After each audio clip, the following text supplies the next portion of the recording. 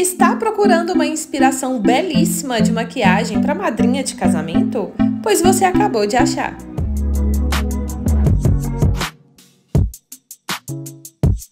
Oi, minhas lindas e meus lindos! Tudo bom com vocês? Voltei com esse tutorial que é praticamente uma aula onde eu vou te mostrar o passo a passo dessa maquiagem lindíssima que eu fiz na minha noivinha e cliente fiel Tainan Gente, eu já tive a honra de produzir a Tainã várias vezes e eu sempre fico muito feliz quando ela volta. Começando pelo tutorial, fiz a limpeza da pele e aí já estava no segundo hidratante. Estava aplicando o Glow Cream da Alice Gontijo, que dá um viço maravilhoso na pele e deixa a pele bem sequinha também.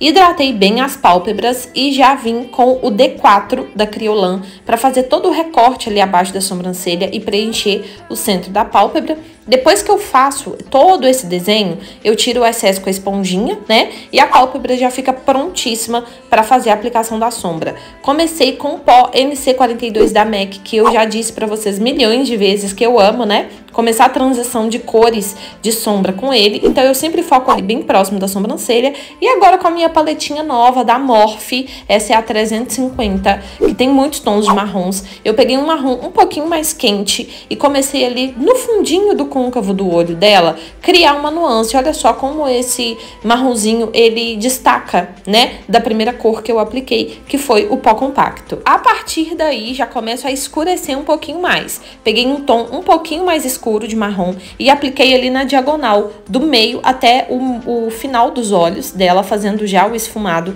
para não deixar marcado. Então, o, o grande tchan dessa maquiagem é você construir um degradê de cores bem feito que você não precise ficar voltando e refazendo, sabe? Apliquei um, um marrom um pouquinho mais claro ali entre esse marrom mais escuro que eu tinha acabado de aplicar, justamente para criar um degradê. O centro dos olhos, ele não pode estar tá muito escuro quando você for transicionar para uma cor mais clara, tá? E agora com a minha paletinha de sempre da Ludurana, pego esse marrom mais frio, que é maravilhoso, pigmenta muito em cima de outras camadas de sombras, por isso que eu gosto muito dessa, dessa paleta. E eu aplico ali também na diagonal até criar essa intensidade, porque, gente, a Tainã, se não for para causar, ela nem vai. Ela gosta de uma maquiagem mais marcante mesmo. E no cantinho dos olhos, eu selei com um pó, que é o PC03 da Ruby Rose, só para poder dar aquela equilibrada, né? Criar uma nuance ali do cantinho mais claro e depois eu vou colocar o brilho que vai ser no centro desses olhos e que vai também ser a cereja do bolo, que vai deixar essa, essa produção ainda mais linda. Olha isso, gente. Utilizei um pigmento fininho que eu tenho da NYX, que é douradinho. Gente, eu uso esse pigmento há anos e ele não acaba. Meu Deus, que produto sensacional. É, e vou dando batidinhas ali para que esse pigmento não fique marcado, né? Não fique redondinho ali, não fique marcado mesmo. É, depois tiro o excesso dele com um pincelzinho de, de esfumado mesmo e fiz um delineado também na diagonal. Vocês veem que eu gosto muito de fazer esse, esse trabalho na diagonal, né? Porque alonga o olhar da cliente e deixa o acabamento muito bonito.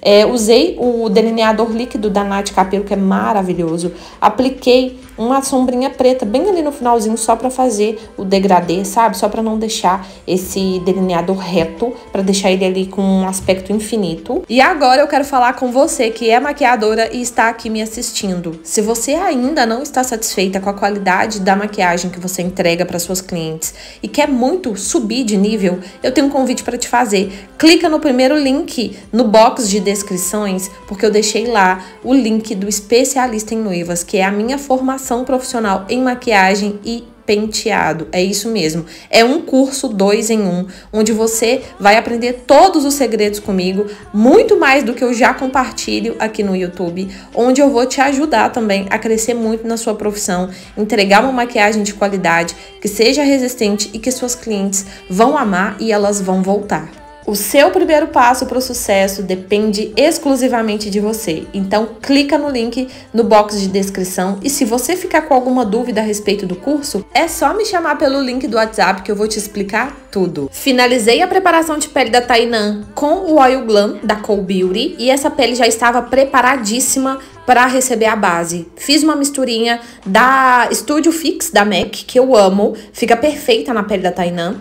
E depois de aplicar, né, com a esponjinha para poder aderir bem à pele, eu já vou para os acabamentos de pele, que no caso eu começo sempre pelo contorno. Utilizei o contorno cremoso em bastão da Swelly Makeup, que eu, eu amo demais. E de blush eu estou usando o D32 da Criolan, porque, nossa, ornou perfeitamente com o tom de pele da Tainan.